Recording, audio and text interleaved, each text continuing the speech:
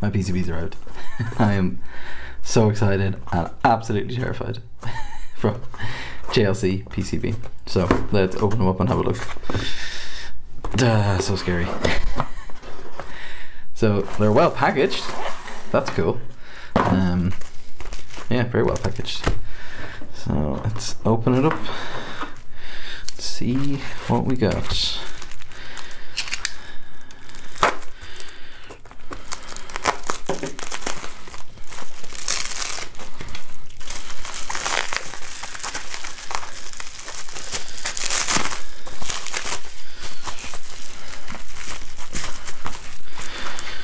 And there we go. There's our boards. Oh, oh, there's they're wrapped in a few different layers. Okay. Oh, these are so cool.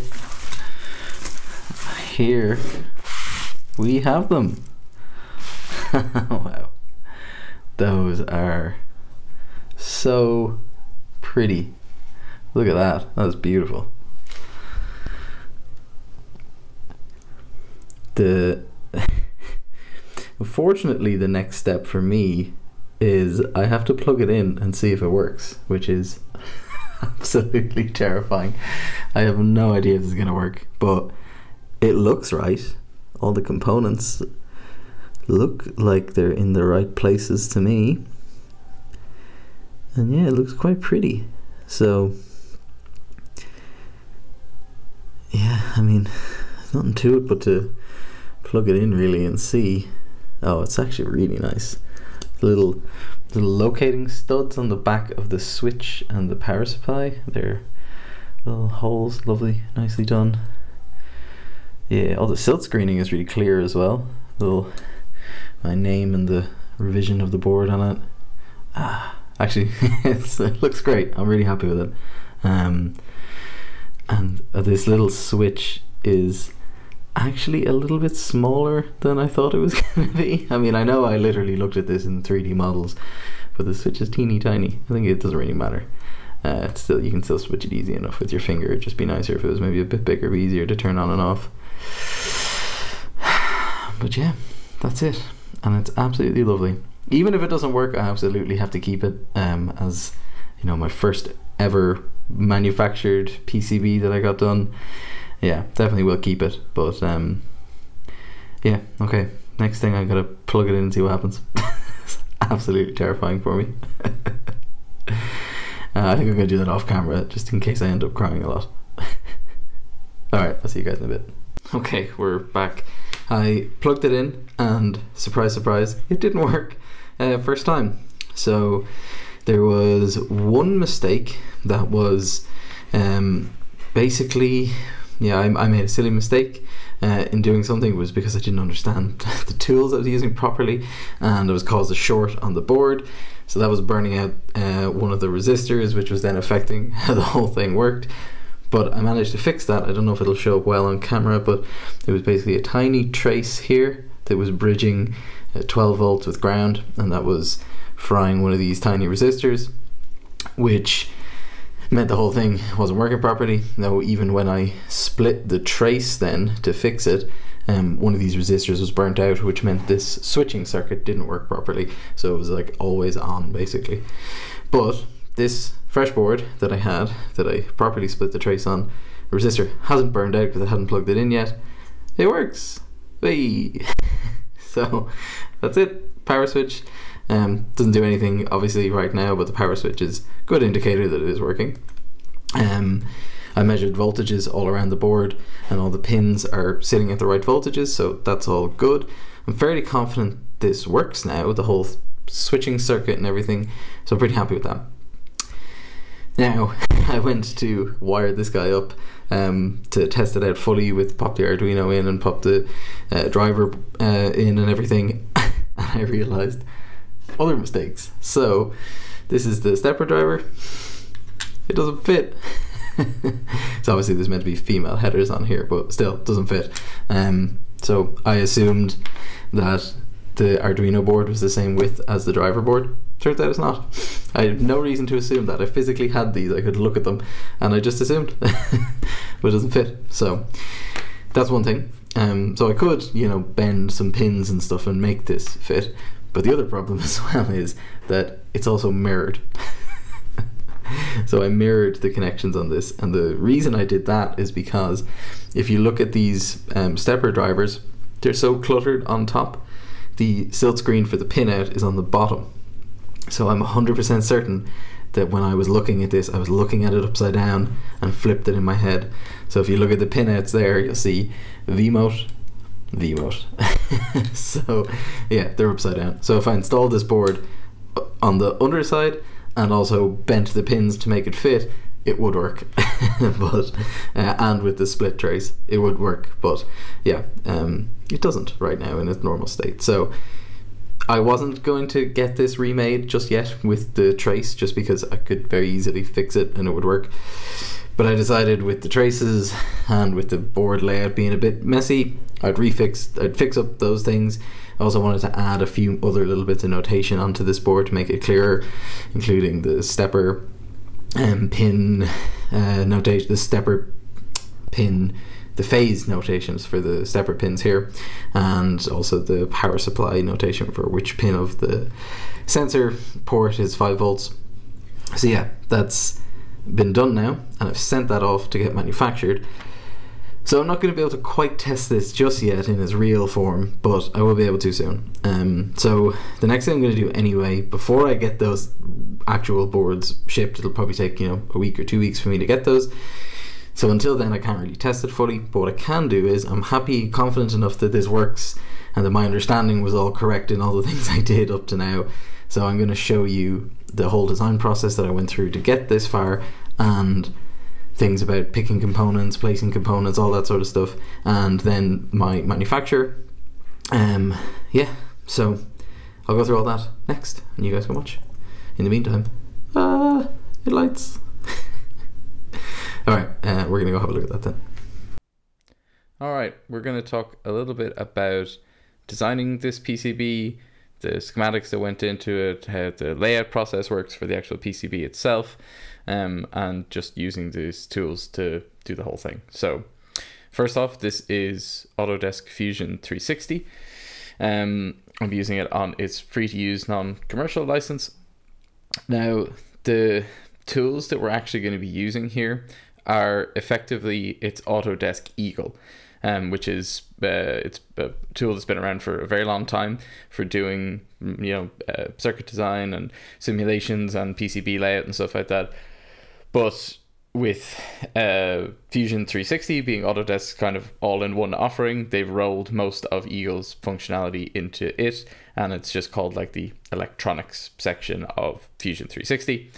Um, so it's basically the same as Eagle. You can take most of what I'm doing here and apply it to using Eagle. Um, the things though that are a little bit different with uh, Fusion 360, we can integrate directly with the 3D modeling power that Fusion 360 is so good for, and you can generate these really nice um, uh, 3D renders of your board that are native models in uh, Fusion 360. So you can then take that model and add it to some other thing you're doing. So if you want to design your case for this PCB and enclosure for this PCB in Fusion, you can then import this model directly into it and it'll all sit together and look quite nice. So that's just one of the kind of key differences there. Um, all right, but let's jump straight in and have a look at the first part. So when you create a new electronics project in Fusion, effectively it creates this whole thing. So you start off with a schematic. From the schematic, you push it to like a PCB layout, and then from the PCB layout, you push it to the 3D render, and that's then this this just sort of the overview of all the things put together in one place, and it sort of tracks the versions of all them together. So it's kind of just like a, a container. So we'll start from the start, and we'll have a look at the schematic.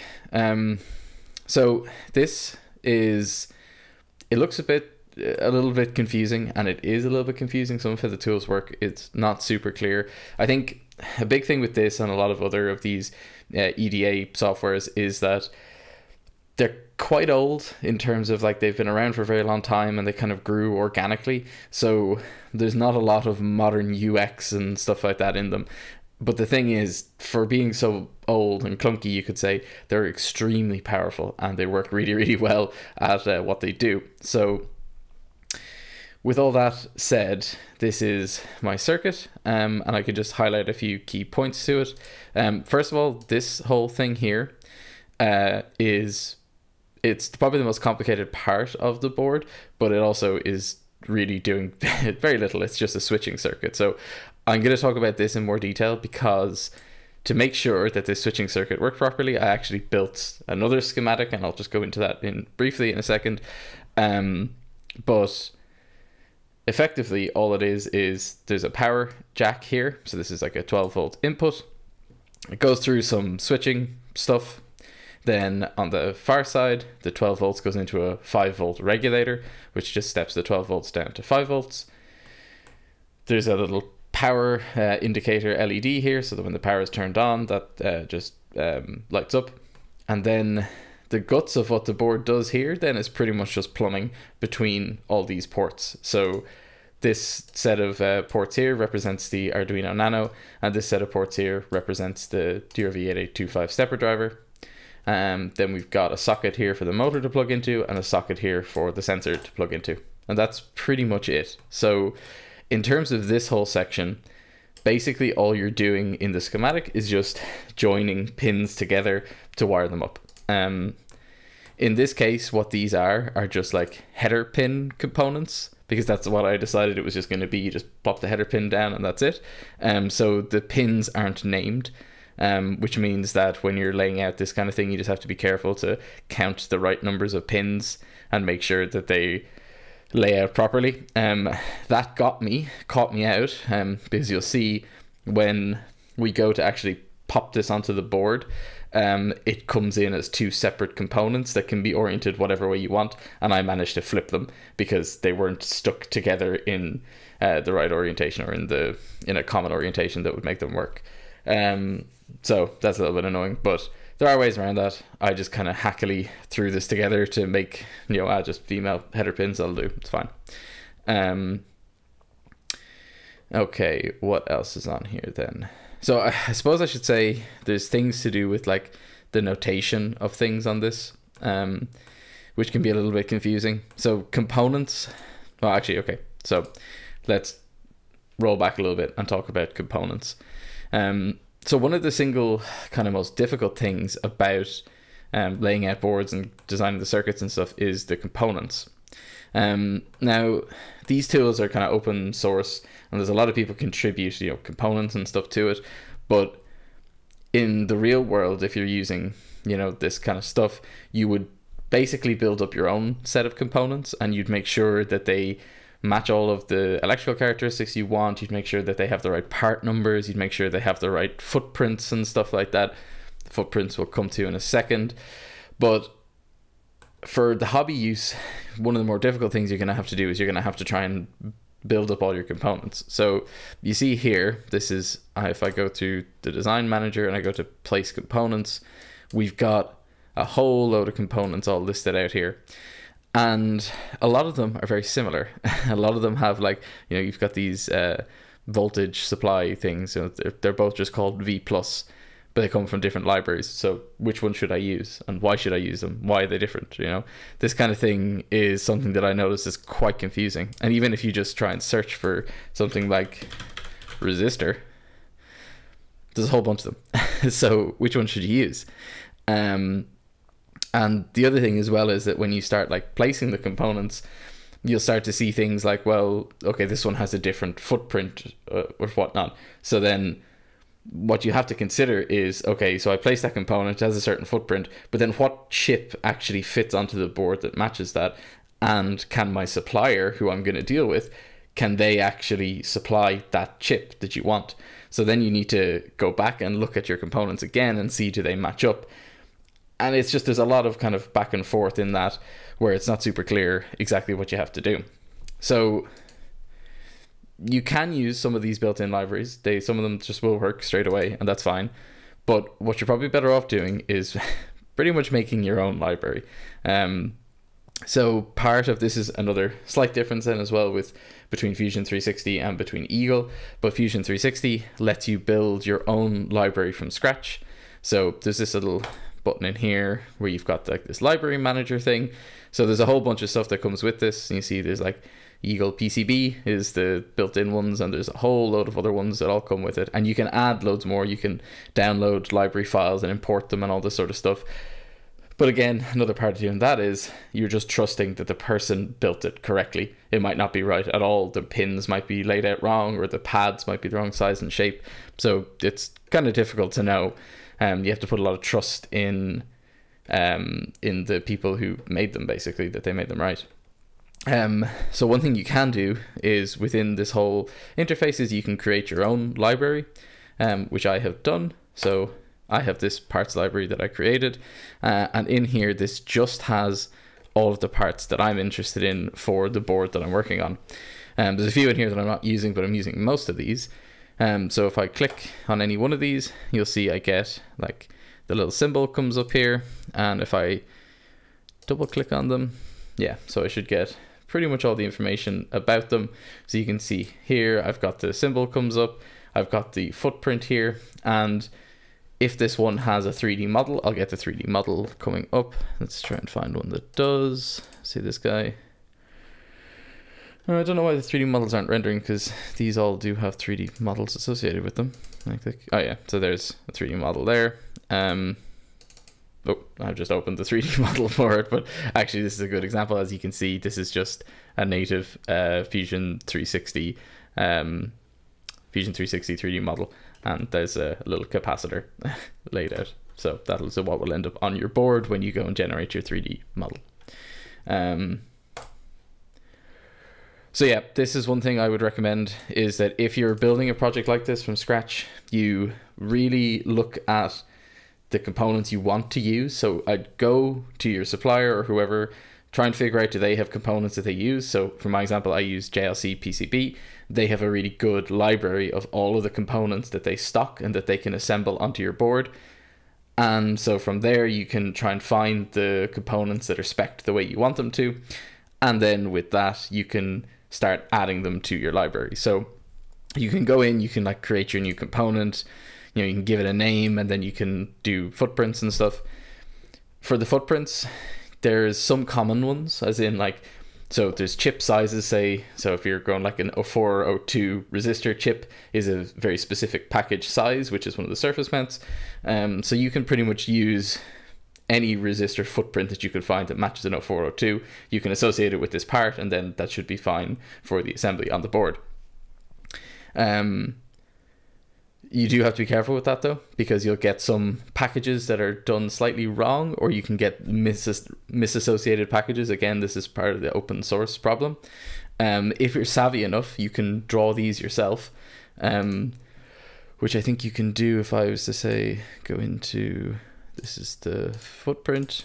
If I go in, yeah, so this is like an inter- a CAD interface where if you know what you're doing, you can draw these out yourself. Um, they're it's a little bit clumsy. It's not as not as slick an interface as we would be used to if you're used to normal kind of CAD. It's it's old, you know, and it's been around for a long time. But you know, this is there's a good friend of mine who helped me along the way with this whole electronics part of this project, and he says that the way he does it is he just draws these himself. Um, he knows what he's doing, and obviously he's been doing it for a long time, and he's using fancier tools than this, so it all works out well for him. Um, but if you are a beginner, a good place you can go to get these is a website called Snap EDA. I'll throw a link in the description because it's quite useful. And basically, they provide free downloads of footprints, symbols, and uh, 3D model files that you can then import here to start building up your own collection of the parts that you'd like to use. So, what else should I talk about? Oh, yeah. So, another thing with this that's useful to know um, these are all actual part numbers um, and these actual part numbers they do matter. Uh, so some of them, like this resistor here, uh, within this part number is baked in what the actual value of that resistor is. Now, you might think, and this is what I kind of thought was, well, if I just stick a generic resistor onto the board and I tell it, I say what the package size is, then my supplier should just be able to go, okay, yeah, just stick a resistor and that, that matches that value. But in reality, that's not really how it works because, you know, they have specific resistors that have specific tolerances and all sorts of things from different manufacturers. And they need you to tell them which exact resistor you want to use. Now, 99% of the time, it's just going to be one simple basic one. And if you look on their supply page for JLC PCB, you'll see there's one 10k resistor that they have like, you know, 50 million in stock of. So you're like, okay, that's the most common resistor. I'm guessing I can just use that one for this case. And most of the time, you'll be right, unless you need specific tolerances. So the part number matters. You can find the part number and then you create your part with that part number. You associate the right footprint with it and you can add a 3D model if you want because you know that'll just make things look cool when you go to render it on your board. Um, but the other thing that you can do for JLC PCB, this is important, is they have their own internal part numbers. Um, so in their attributes section, you can see this uh, LCSC part. That's basically the JLC part number. So it's important to try and include those for every part in your library if you're going with JLC PCB because it does make it easier for them on their side. Um, they'll be able to, when you upload your bill of materials file that has all the parts listed out in it, they'll be able to associate the parts much easier if you provide those part numbers. It's not essential, but I was paranoid about doing this that I'd get the wrong parts, so I was very deliberate about mapping all my parts correctly with the right part numbers. Okay, so what else? We talked about parts. Um, what else do we have to talk about? This there's so much in this. I feel like I could just ramble on for ages about figuring out all this stuff. But basically, once you have your circuit drawn, um, you're gonna want to put it onto the board. So from within here, you've got this button up here, which goes switch to PCB document. So that will dump you into when it loads this guy. So this is our actual layout tool for the PCB itself. So when you first populate this, this is, space will be completely empty and all your components will be off to the side here. So what you have to do is you basically drag and drop every component onto the board. And when you do that, you'll end up with this crazy mesh of wires everywhere. So all of these, you know, connectors that go between all the components are ones that I've drawn it won't be like that when you first drop all your components. You just have these crazy wires going everywhere. They're called air wires. Um, and that will be the template to show you where all the connections are. And then what you have to do is you have to click and like drag basically those air wires to create these actual traces. Um, I'm not going to get into a huge amount of detail about this because again, this is another topic that you could you could talk about for hours, and I'm no expert in this at all either. So I posted on Reddit recently when I got these boards delivered, and I got so much feedback about, you know, great feedback on things that I had done wrong or things that I had done suboptimally. Uh, and I had the help of, of a professional who does this every day, helping me out with figuring out this layout and stuff like that. And even then, there's only so much he could tell me because you have to do this and learn and figure it out and break stuff and all sorts. So, you know, there's there's a lot to know about this. This is people's literal jobs is being an expert in laying out these kinds of boards. Um, but this is what you'll end up with. Um, a few highlighting things. Uh, if you have power on your board, so these uh, big ones, VS and VD, are power traces. So this is uh, basically 12 volts coming from my power supply, goes down into my switching circuit, and then goes out towards my motor. These carry quite a bit of current, as in they carry most of the current of the whole thing. So you'll notice these traces are quite thick. Um, they're about a millimeter thick, and then you notice the other traces are a lot smaller. So there's some down here that carry 5 volts for a few other things. They're a good bit smaller. Um, they won't carry a huge amount of current because they're just powering one LED and some um, uh, digital uh, supply stuff in here. So there'll be very little current draw on them. So the trace is a little thinner.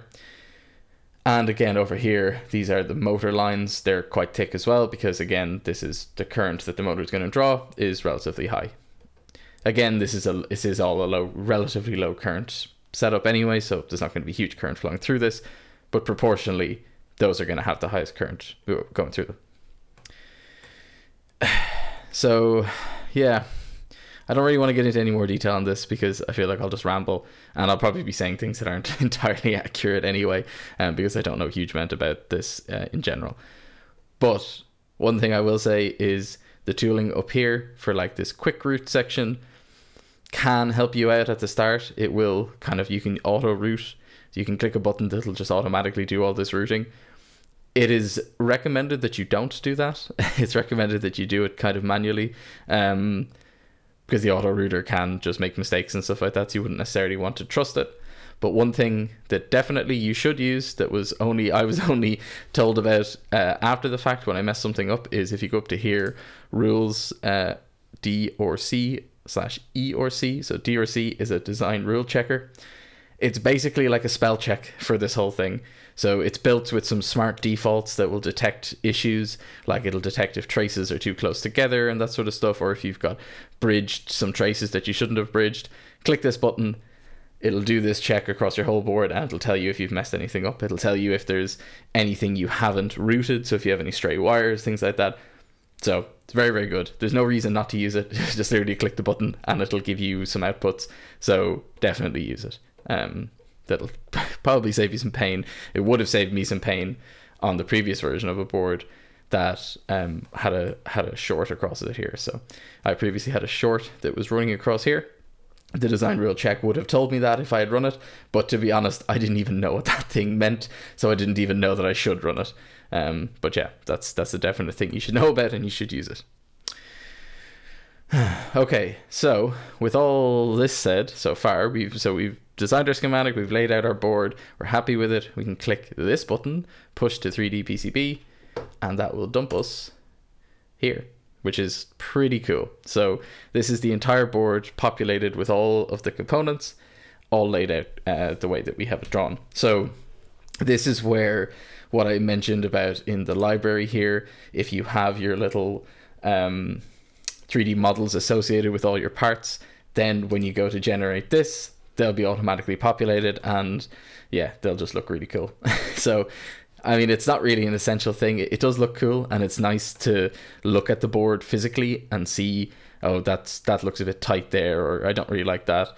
Um, for you know, human interface uh, design as well. So this switch I have on the board now, this actually caught me out because it wasn't until I physically got the board that I realized that this switch is actually tiny. I have to use my nail to flick it on and off, which is not really a huge issue. It's kind of fine. It still works, but from this perspective, it was actually easy enough to see, say, comparison to the size of the barrel jack, which I know what that barrel jack size is. I should have been able to see that that's way too tiny. Um, but perspective is kind of difficult. Um, so the other thing as well is like these chips are minuscule. They're like absolutely the, the, the tiniest little chips I've ever seen. And this kind of doesn't give you that impression necessarily. So even though it's a good tool and i would say look at it and focus on it if you want to you know get that sort of impression but it's kind of hard to tell until it's actually in your hands or you've designed it and then you've looked at it and then you've looked at the real thing and gone right okay that's that's that's going to be too small for this purpose. So that's for the switch here. Um i mean 90% of the time doesn't really matter but you know it's just something that this can be useful for. Other than that, it's just nice to have the little bit of artwork and just play around with it and just enjoy, uh, you know, what you've made here. um, okay, so one last thing I want to cover just before uh, I go, before I leave this, is the switching circuit. So that's this whole business here. Um, and I want to talk about it just in a small bit of detail because it's kind of an interesting sort of electrical design, um, and also uh, I can talk about the simulation setup that you can do within Eagle, which is really powerful as well. Um, so first of all, I could just talk about why we want to do this. So we have a little switch and we have a 12 volt power supply, and all of that effectively is powering the motor. Now the thing with the motor is the motor will draw a certain amount of current. Um, it's a relatively high amount of current for a lot of, you know, digital applications. Like most of the time when you're just dealing with microcontrollers and a few LEDs and stuff like that, you're drawing minuscule amounts of current. As soon as you put a motor into that system, the current like really ramps up exponentially. And the amount of current that is drawn by a motor, even a small stepper motor, you know, can be one to probably 1.5 amps uh, that's quite a lot of current um, compared to other things like your microcontrollers, which are which are drawing like you know milliamps and microamps and that kind of thing. So things can burn out easily enough when you put one amp through them uh, if they're not made for that. So that's a thing you also need to make sure when you're specking out all of your parts. So you spec out your port here. Does this can this barrel jack handle one or two amps? you know you have to look at that when you're picking the part. Can this capacitor? Well, actually, the capacitor is not really going to matter too much here, but all of your switching circuit down here as well. You need to make sure that they can all handle that amount of current. So, with all that said, why do I need this switching circuit? And the answer is it's kind of a bit nuanced, but basically when you think about what a switch is what the switch is doing here, if you just connected this 12 volts directly through the switch and then the output of the switch directly out to the motor controller, all of the current when it's drawing its, you know, 1 or 1.5 amps is flowing through this little switch. Now, there are little switches that are designed that can handle high amounts of current, but the majority of them actually aren't designed to handle that much current at all. The idea of them is that they actually just uh, have tiny amounts of current flowing through them, and all they're doing is just switching uh, a voltage reference. So in this case, I have it switching. The switch goes between 12 volts on one side and ground on the other side, but there's a tiny amount of current flowing through it. And you'll notice this tiny little switch, if you look at the datasheet for it, it's only spec'd for a few milliamps. And that's all, that's perfectly fine in this use case because I'm not pulling all of the motor's current through it. Now, if I found a switch that worked well at higher amps, you could do that. But again, it's, it's not really great practice to have a little slide switch actually interrupting, uh, you know, high current flow. Um, because you know you have sliding contacts and stuff like that. You can get things like sparking or whatever if you have you know high voltages, high currents, and that sort of stuff. So generally, not a great practice. Um, so that brings me to why I have this switching circuit, which I can get into. I won't get into it in massive detail, but essentially the overview of it is this uses a MOSFET and a BJT to set up a switching circuit whereby we've got our 12 volts here and it sort of goes down to the MOSFET. There's a line breaks off the 12 volts down here to the uh, switch. When you switch the switch, uh, some of that uh, current and basically the 12 volts goes down, turns on this BJT. The BJT in turn turns on the MOSFET. Then the MOSFET conducts from one end to the other end, and that goes through and powers the whole circuit. So it's I'm not getting into the, the nitty gritty of how that works, but effectively you've got these resistors and capacitors set up with these two um, switching uh, transistors, and that whole thing means that the switch itself doesn't actually handle any current. It just flicks on, just flicks between two voltage references, and the uh, transistors here handle all that current. They're rated to be able to handle that current, and so the current can, can flow through these chips to your motor driver and power your motor. So you might think, well, that all sounds quite complicated. So how do you design something like that? And I have it here in my schematic, but like this just looks like it's just a bunch of components thrown together. I have values in here, you know, two 10k resistors here, 20k resistor here, some 100 micro ohm capacitors here. This is a transistor. Yeah, it's a transistor. And so is this one but you know there's nothing about this tells me does this work or not. So what you can do is you can within eagle and within most of these eda softwares you can do simulations using something called spice. So spice is extremely old technology been around for a very long time and it's basically computer simulations of electronic circuits. Um, so we can do a spice simulation for this. Now this whole system this so there's kind of sort of two classes of schematics you can be creating. Now sometimes people will make them work in both ways, but in this case I haven't. The first class is one that's just for the layout. So this basically is what this is. None of this stuff is configured to be simulated directly, but effectively it'll let me lay out my board the way I want it to but I needed this part to be simulated because I knew the rest of this was going to work because it's basically just plumbing, just connecting wires together. But the part that I didn't necessarily know if it would work was this whole switching circuit.